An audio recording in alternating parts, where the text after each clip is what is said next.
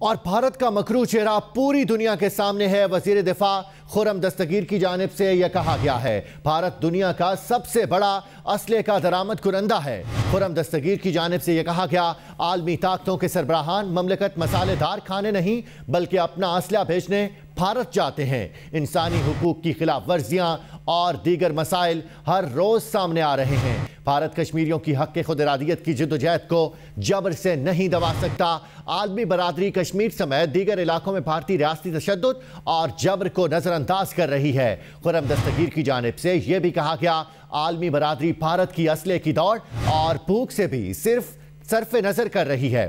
بھارت میں اقلیتیں محفوظ نہیں، اقلیتوں کے حقوق چھینے جا رہے ہیں۔ بھارت پاکستان کے ساتھ آزادانہ تجارت کا حامی ہے، مگر اپنی شرائط پر خورم دستگیر کی جانب سے یہ بھی کہا گیا کہ بھارت پاکستان کے لیے اپنی مارکیٹ کبھی نہیں کھولے گا۔ اقتصادی استحکام کے لیے پاکستان کا ایک ڈھائی تک سات فیصد جی ڈی پی گروتھ چاہیے۔ ہمیں اپنی معیشت کو تقویت اور سیاسی استحکام لانا ہوگا۔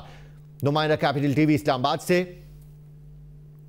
محمد ظریف نے ہمیں جوائن کیا ہے۔ محمد ظریف اپڈیٹ کیجیے گا۔ اس حوالے سے وزیر دفاع انجینئر خورم دستگیر نے سیمینار سے خطاب کرتے ہوئے کہا کہ بھارت کبھی بھی پاکستان کے لیے اپنی مارکیٹ نہیں کھولے گا۔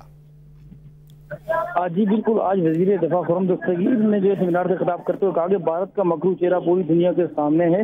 انسانی حقوق کی خلاف ورزیاں اور دیگر مسائل ہر روز سامنے آ رہے ہیں۔ بھارت کو اس کے میڈیا اور فلمر کے تناظر میں مت دیکھیں، بھارت کا جنگی جنون میں مبتلا ہو چکا ہے عقائد کو مسخ کیا جا رہا ہے۔ ڈبلیو ٹی او میں بھارت کے پاکستان سے رویہ کو قریب سے دیکھ چکا ہوں، جبکہ مزید ان کا یہ بھی کہنا تھا کہ بھارت پاکستان کے لیے اپنی مارکیٹ کبھی نہیں کھولے گا۔ اقتصادی استحکام کے لیے پاکستان کا ایک ڈھائی تک سات فیصد جی ڈی پی گروتھ چاہیے اور بھارت جیسے دنیا کا سب سے بڑا اسلحہ منگوانے والا ملکوں میں عالمی طاقتوں کے سربراہ مملکت، مسالے دار کھانے نہیں بلکہ اپنا اسلحہ بیچنے بھارت جاتے ہیں۔ جی۔